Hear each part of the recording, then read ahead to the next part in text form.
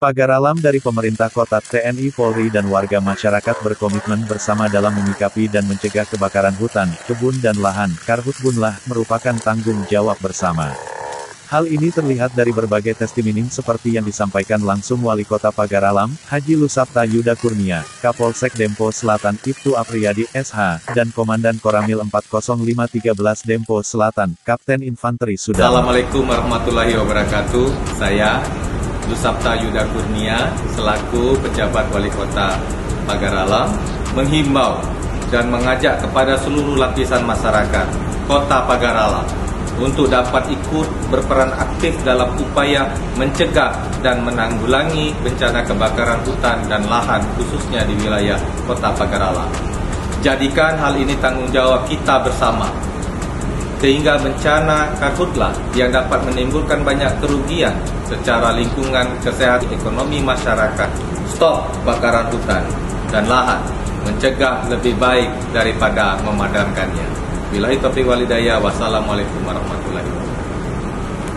Assalamualaikum warahmatullahi wabarakatuh. Saya Kapolsek Dimpu Selatan, Ibtu Apriyadi SH, beserta anggota Polsek Dimpu Selatan mengajak kesadaran masyarakat Kecamatan Dimpu Selatan untuk tidak membuka lahan dengan cara dibakar, semak belukar, membuang puntung rokok sembarangan, dan sampah-sampah bisa mengakibatkan kebakaran berdampak kepada penyakit yang bisa menimbulkan terhadap keluarga kita dan anak-anak kita.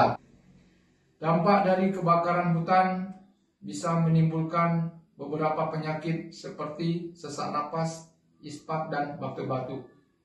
Apabila ditemukan warga Kecamatan Dimpu Selatan yang membuka lahan dengan cara dibakar atau membuang puntung rokok sembarangan akan dikenakan hukuman penjara paling lama 15 tahun dan denda 5 miliar.